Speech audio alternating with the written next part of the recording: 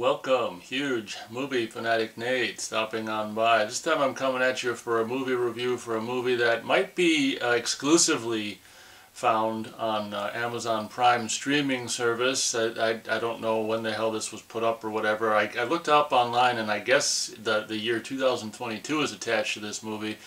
I thought, you know, being, a, you know, me myself being a uh, fan of summer camp slasher movies from the 80s and things, I thought, well, this might be right up my alley. And having already, was it last year? I think it was last year. At some point, it might have been last year, having already seen and been actually pretty, very impressed with um, She Came from the Woods, uh, a movie that's kind of branded on TubiTV.com as a Tubi original. It is actually on DVD and Blu-ray in like um, European markets, but unfortunately, as far as I know, not yet in in America. I'd love to have the Blu-ray or DVD of that. Have been, actually having been impressed by that one, possibly last year, I thought, well, maybe I could, you know, give this one a chance, and maybe it can be equally cool. Well, cut to whatever, a, a grueling frickin' 90 minutes or less later. This is not anything as good as um, She Came from the Woods, in my opinion. It's a movie that very that several times way too often. Like one Friday the 13th reference is fine, but like two, three, four, I don't know how many. I think it does like three or four. It seems like a lot more. You know, you start referencing Friday the 13th too much in a, you know, a movie that's, you know, tries to be a Friday the 13th movie, and it just gets a little annoying in my opinion, but very much with like She Came from the Woods, which I think took place in 1987. This one takes place in 1991. I don't, I don't exactly know why they picked that year, kind of weird. But I think there's something, there's some event I think that happened maybe in the 80s, mid or late 80s before that, some years prior, where some, I think some kid might have died and, and a dad was distraught at the very beginning of the movie. Forgive me if I can't remember all the details, but if a movie's not good enough to, you know, I have I watched this less than a week ago. If it's not good enough to be in, in you know implant certain details in my head where I you know can't forget about them or whatever, then then hell with it in my in my opinion. But um, some some kind of death or something happens with I think a camper and at the beginning and you know they try to do this lore with this particular name of this individual as being some kind of whatever you know and whatever I can't remember all the details all I know is this movie. Did I even, uh, I don't think I even mentioned the title. I'm coming at you to review Final Summer. I, I, I did that with Oppenheimer too. I didn't fricking say the title. Coming at you to review Final Summer, a movie that is on Amazon Prime for sure, at least when I watched it. And I don't know if it's anywhere else. It doesn't really matter because you're not missing anything if you don't see it. I did happen to look to see it, you know, if it's on Blu-ray, it isn't no, no big deal because I wouldn't want to buy it anyway. But it starts with this, um, like I say, this accidental death, and I can't remember if it if the if the dad is supposed to be a suspect or something later on. It doesn't really matter. Cut to 1991, I think.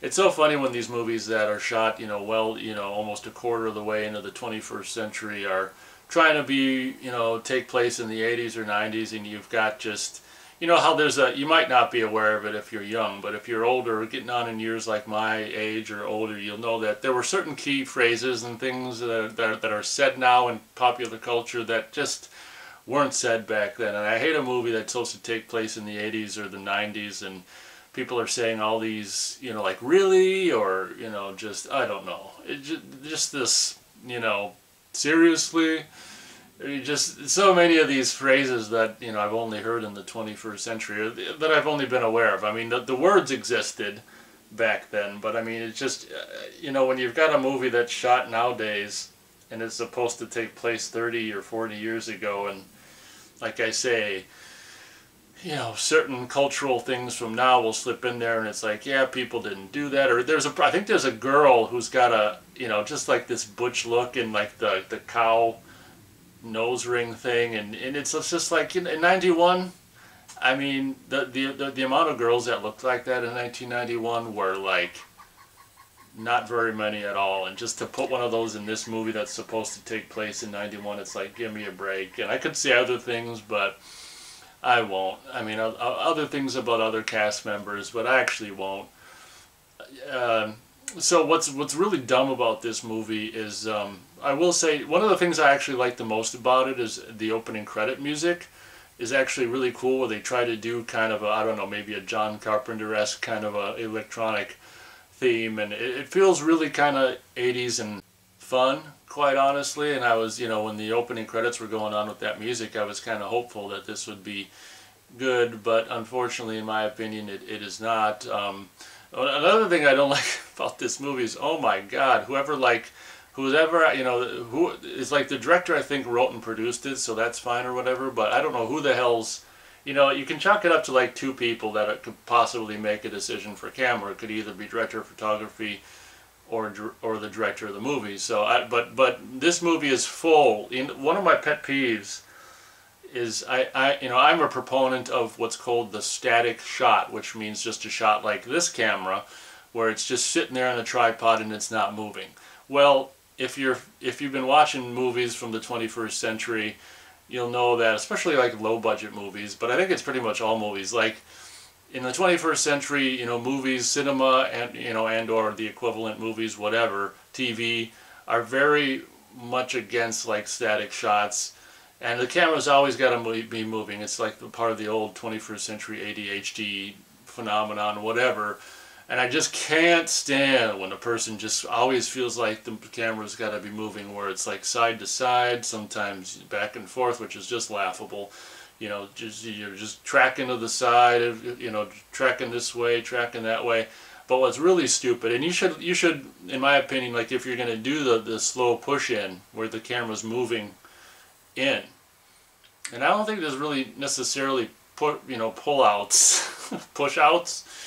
You know, there's a lot of this just push in where you, you should try to kind of like reserve that for any for a specific moment where you want to like build tension. But like almost, and I'm not even joking. I want to say 75, 85, possibly like 90% of this movie, maybe even or more, is just like these slow. If there's like a medium or wide shot it's like this just slow push in. Like every freaking, not every, but the majority of every camera shot is like, got to be moving camera and just like slow push in. And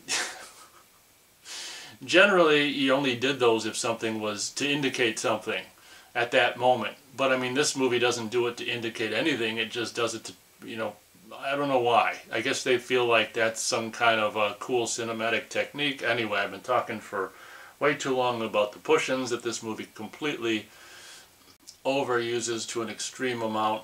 Another thing I, I hate in, you know, post drone camera, you know, now that we're in the drone camera era, is uh, just just needless shots from the sky, from the sky. You know, when they just when they're just not necessary. And this movie, throughout the course of it, will they're kind of to bridge scenes from one scene to another. We'll just have a the majority of the movie takes place at night, so we'll just have a day for for, for night shot of hovering over the trees just to bridge scenes. You know, cut from one scene to the next. We can't do that without putting a shot of the you know from the sky of the trees. And of course the you know the, the, the shots moving. Of course it's harder to get a static shot from a drone unless I guess you you you, you stabilize it in you know post or whatever. But um, it's just like oh we can get shots from the sky now relatively easily so we'll just throw them in there. That whole mentality of like it's just like you know movies from the 70s and the 80s and slasher movies and any kind of movies that that didn't have the technology or budget or even even big movies that did have a budget to get a shot from the sky in a helicopter. I mean they didn't just do it for no reason. You know oh you know this will just be cool to get a shot from the sky. So i'm just basically naming off pet peeves you know visually that this movie does it's just like oh my god. But um, the whole premise is just like I say that that that accidental accidental death at the beginning and then the opening credits which were kind of fun with the music. And then then we cut to like whatever 91 and we're getting introduced to the camp counselors or something. It's like the last day. It's like you know hot, wet hot American summer. It's, I think it's the last day of camp. I think all the kids are gone and it's like their last day like the counselors or whatever just whatever and they're gonna whatever close up or whatever and um, I can't. Oh, I think that the it, it you know the camp is you know possibly going to close down and not open or whatever. This this I think it's like the owner slash operator who's got a very like Betsy Palmer. I'm sure that was on purpose, like Betsy Palmer esque vibe to her. It just kind of comes across as like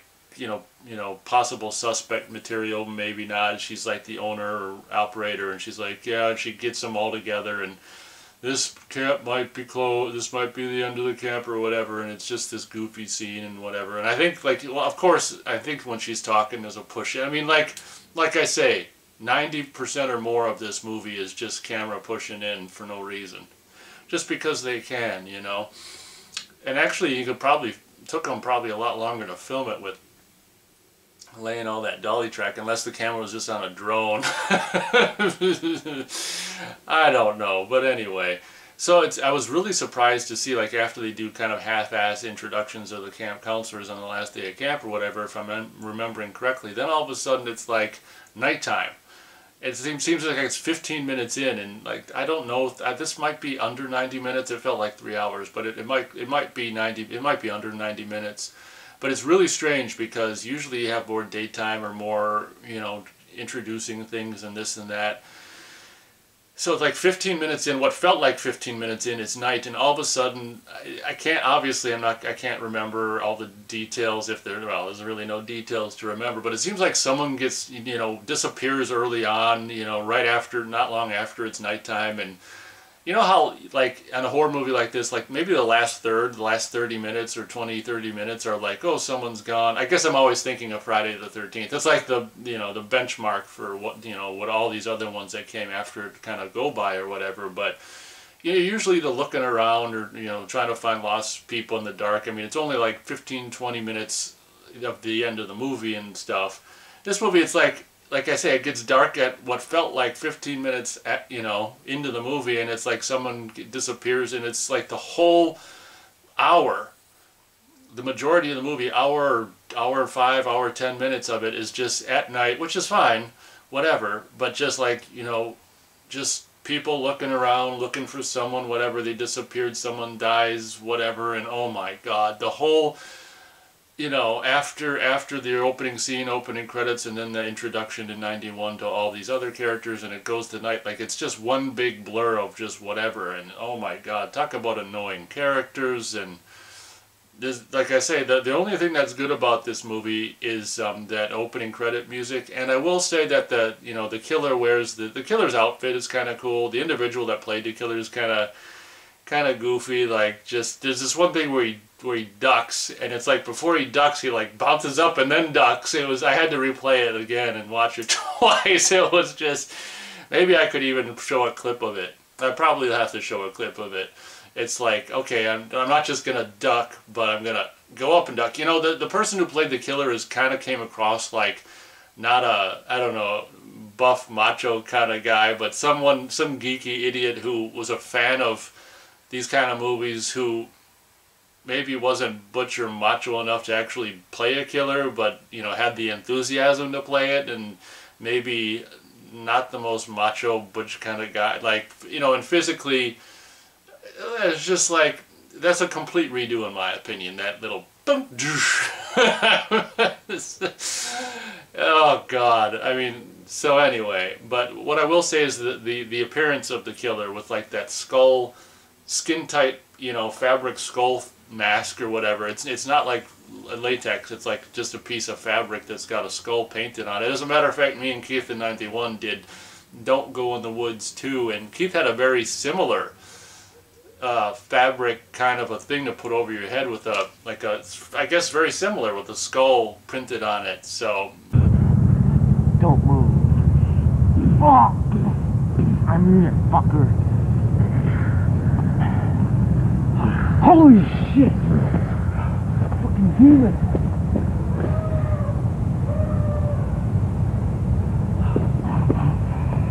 Oh, I didn't do anything. Oh, oh my.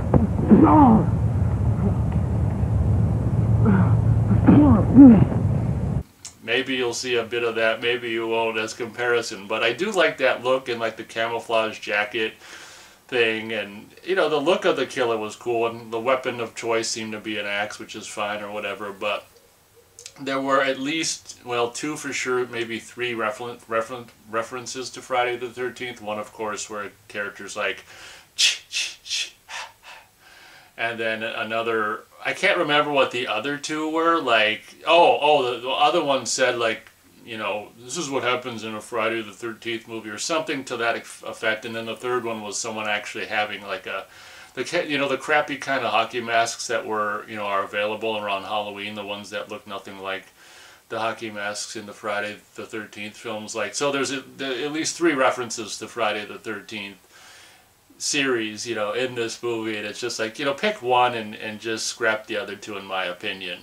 You know, um, I probably if I if I was to pick one of those, it'd probably just be nothing verbally spoken. You know, so scratch that ch ch ch joke, and you know, oh, this is like Friday the Thirteenth. You know, scratch those two and just have that you know half-ass hockey mask appear, and just have it not said verbally, but just the visual of like, oh, okay, well, obviously it's 1991. Someone brought a half-ass hockey mask to summer camp. Makes sense, and we don't have to say it out loud, but whatever.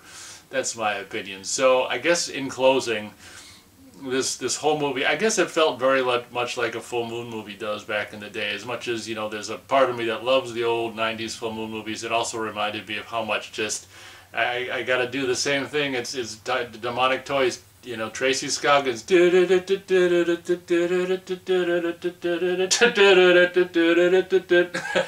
you know, just looking around. We're just gonna eat up running time, you know, running time just looking around. I probably bitched way too much about this movie, but very little to like about it. The um, like I say, the just the, the the camera constantly, but it's not you know it's not something that's specific to this movie. Actually, push-ins you know on nearly every shot aren't very common, but what's more common is the the drifting side to side, and it has you know this movie has that in it as well. It's just like okay, I think there's a couple static shot shots, but yeah, I'm not a big fan of drifting camera just to just to move it because you know it's 21st century and people are going to get bored if the camera's not moving kind of thing and let's just push in you know this this kind of a push in is should be only really utilized if there's like something gonna ha potentially happen or whatever coming up and we're gonna amp up very um, subtly you know, anxiety in the viewer or whatever. But no, every single shot is just push in, and it's just like,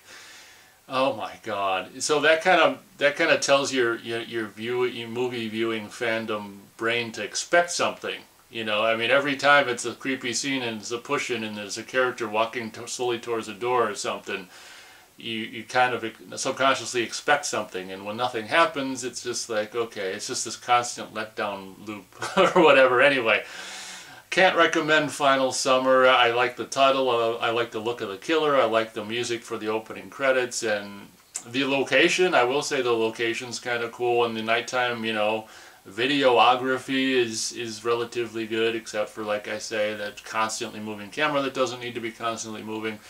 I can go as high as a half of a star out of four stars for final summer. You know, it, it wanted to do something cool. In my opinion, it didn't really do something cool. Yeah, I, I probably have to show you a shot of that killer. Oh, how am I gonna find it? Oh, I should have. Oh, I should have recorded it while I was watching it. Anyway, it's some it's sometime during the dark nighttime scenes, which means it's sometime during all, the whole, you know, all the movie or whatever. So I gotta find it, but that's fine you know, I, I'm, I'm willing to go through all that trouble to, to show the five people that are going to watch this review. But I guess that'll do it for my review of this movie. Can't recommend it at all, unlike She Came from the Woods, which I think was a much better kind of a, you know, doing this same kind of summer camp horror movie thing and nod to the 80s and things. Although that movie didn't, you know, do the 80s necessarily perfect either. So, but anyway, feel free to check out my review to see what I thought about that movie. And in regards to this movie,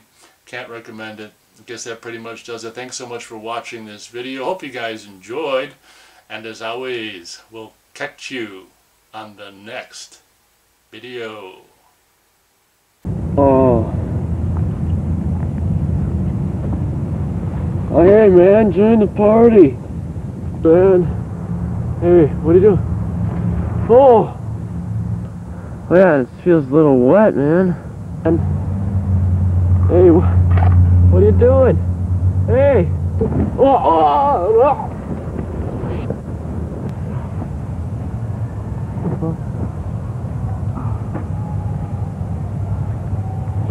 Oh. Hey, what happened? Where are you, man? Cock. Holy shit! Fucking dick. Dick shit. Come on, you fucker. You fucking kill my friend, I'll kill you. Oh, shit. Oh! Oh, oh. Oh. Oh. Oh. Come on.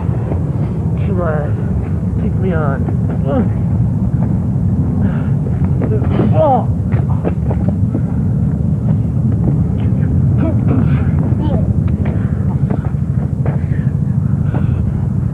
Don't move. Oh. I'm in fucker. Holy shit! Fucking demon!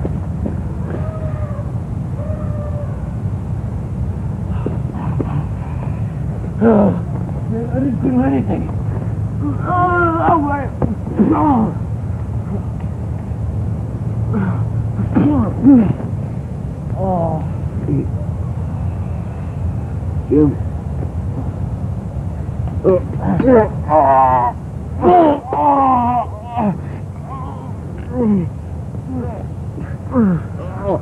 Oh.